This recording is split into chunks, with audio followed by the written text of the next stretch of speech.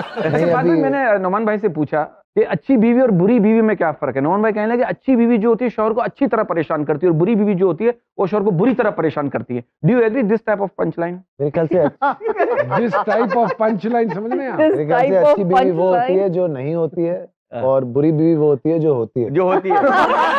जो सर पे सर पे सवार रहती है। वेल सेड वेल सेड अब बीवी का ज़िक्र कर दिया। यू गॉट मैरिड वेरी जी बिल्कुल। What were the reasons no particular reason. No particular as i reason. told you things have happened in my life and it's all been very nice. Hmm शायद उस time पे बहुत गलत फैसला हम्म। मतलब मेरे माँ बाप को गलत फैसला लगता था उसके हम्म। माँ बाप को बहुत गलत फैसला हम्म। लगता था। बिकॉज़ मैंने पढ़ाई छोड़ दी थी I am drop out by choice. I was doing pharmacy so was she वो पढ़ ली मैं नहीं पढ़ा। और मुझे आज भी समझ नहीं आती मैंने अपने अब्बू को ऐसे कैसे बोल दिया कि मैं नहीं पढ़ूँगा। I had no plan hmm और मुझे एक्टिंग का भी कोई खास शौक नहीं था। तो हो गया सिलसिला चल गया फिर मज़ा आने लग गया एक्टिंग में। तो ज़िंदगी एक पढ़ी लिखी बीवी के साथ कैसी लगती है? जाहिल के साथ गुजारी नहीं तो पता नहीं कंपैरिजन ये ये सवाल तो उनसे करना करना चाहिए भाभी से। hmm. और अच्छी बुरी चीज़ें। We seen failures we seen success together ये जो अब प्रोडक्शन माशाल्लाह कितने साल हो गए करते हुए?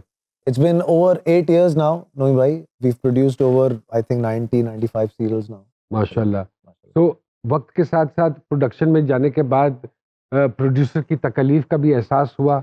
मुझे पहले दिन से था बिकॉज़ मेरे अब्बा एस के जमाने से प्रोड्यूस करते थे। उनको ड्रामा बनाना आता था बेचना नहीं आता था। हम्म।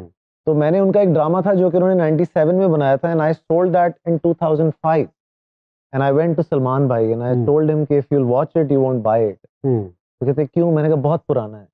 कहते अच्छा तो क्या सो ही हेल्प मी. उस पॉइंट ऑफ़ व्यू से. Hmm. उन्होंने बगैर देखे वो मेरा ड्रामा मुझसे खरीदा। सलीम शेख उसके अंदर हीरो थे। It was a good drama तो बट अगर मैं ये कहूँ कि आपको बेचना आता है? बेचना आता है।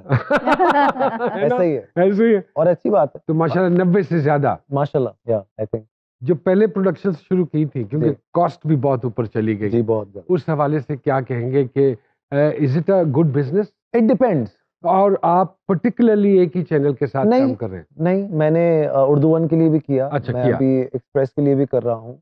हम्म, मैंने सबसे पहले प्रोड्यूस किया था नोमी भाई this was in 2007 2008 I produced a series उसका नाम था और फिर। हम्म, उसमें पाकिस्तान के तकरीबन सारे एक्टर्स थे आप और हुमायूं भाई नहीं थे बाकी तकरीबन सारे। थर्टीन हम्म, एपिसोड्स हम्म, मैंने वो। प्रोड्यूस किए। मैं अपने पैसे कमाता था और मैं एक एक एपिसोड तो बनाता इस बात का था मैं गवाह. इस बात का मैं गवाह भी होंगे उस बात के। मैंने उसमें एक्टिंग नहीं की बिकॉज़ मेरा था कि अगर मैं प्रोडक्शन करनी है तो at least I won't act in it you know I I should be recognized as a producer मैंने तब भी पैसे निकाल लिए थे चैनल से।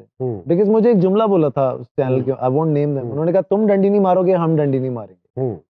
तो मेरे तो नहीं रुके। नहीं रुके। बाकी मुझे लगता है हर किसी का एक इंडिविजुअल अपनी पर्सनल रिलेशनशिप पे अपना है आपका रिटर्न भी आपकी पर्सनल रिलेशनशिप पे डिपेंड करता है। हर चीज़ करती है। As you have been doing a beautiful show for the last how many years now? Eight nine years now eight nine years? जी। और आपके शो ने तो बाकी सारे शोज़ जो है ना वो फारिग कर दिए। जितना उरूज अ, शोहरत इनको अल्लाह ने अता की दौलत। तो दौलत। उतना ही इतना ही आजिजी में चले गए। ना बदतमीज ना रूड ना होता ना कि आदमी सबको साथ लेके चलना नसीब जोड़ना तो मुझे लगता है अल्लाह इनको इसलिए भी ज़्यादा नवाज़ रहा है। टैलेंट तो है ही नसीब भी दुआएँ भी और सबको साथ लेके चलना। इंशाल्लाह अपॉर्चुनिटीज़ देंगे और ज़मीन में चले गए हूँ। और ज़मीन में, क्योंकि इनकी बहुत सारी है कहानियाँ वो बताएँगे तो मुँह पे अच्छा लगा, चाहिए। अच्छा अच्छा हमें। और सर ऐसा ही होना चाहिए स्टार जब सुपरस्टार बनता है तो पागल ना हो सर। हाँ। है sir?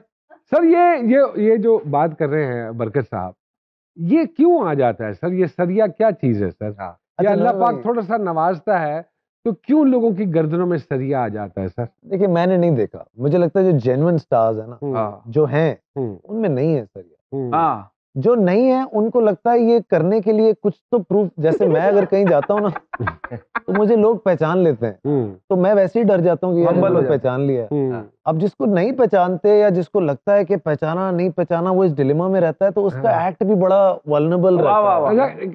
Because you transform yourself ना कभी मुझे रख ली तो कभी बालों का स्टाइल चेंज तो कभी कुछ तो कभी फिटनेस तो हाँ। कभी हुआ है कि किसी ने ना पहचाना? बहुत बार।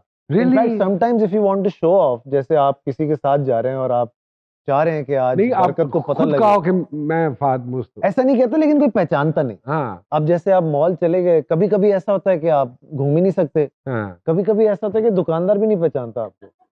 चाहे आप मास्क उतार के भी दिखा लेना ऐसे भी कर दे बंदा।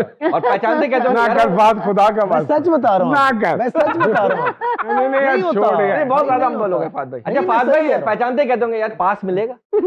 क्यों तो शुरू शुरू में कहते थे यार लेकिन अभी अब भी होता है। अब यार हर बंदा यार आपकी फात भाई से बातचीत है आप उनके साथ मॉर्निंग शो करते थे पास मिल जाएगा। मैंने कहा यार भाई खुदा को मान ले भाई वो कुछ जेब में लेके घूम रहे पास। मज़े की बात पता क्या बिकॉज़ जानते हैं बीइंग मी बेशक, नहीं नहीं ये कैसे हो सकता मैं कभी भी ना कर मैं कभी भी नहीं करांगा उन्हें phone I will never do that मेरे अब्बा ने मुझे डिसोन कर दिया है। नहीं, नहीं, वो लोगों से कहते हैं हमारी नहीं है उस बेटे से बातचीत पास की वजह से हाँ। पास की वजह से ना मैं तो चौदह अगस्त को पहले वो हेलीकॉप्टर से झंडियाँ उठाते मुँह थे अभी ने पास उड़ाने चाहिए। यहाँ वक्त हुआ है एक छोटी सी ब्रेक का। यही मत चाहिएगा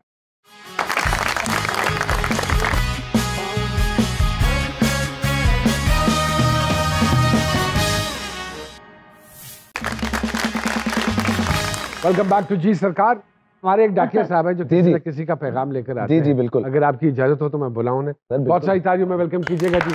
आइए डाकिया साहब। अस्सलाम वालेकुम वालेकुम अस्सलाम। फाद मुस्तफ़ा साहब आए हैं। किसका पैगाम लाए हैं सरकार? सरकार आज पैगाम जो है वो है अंदर की रूह का पैगाम। वो तेरी अंदर की रूह? डराएगा तू? साड़ी के अंदर दी रूह जड़ी है गाला ही कट दी। रूह कहती है कि सब भी झूठ।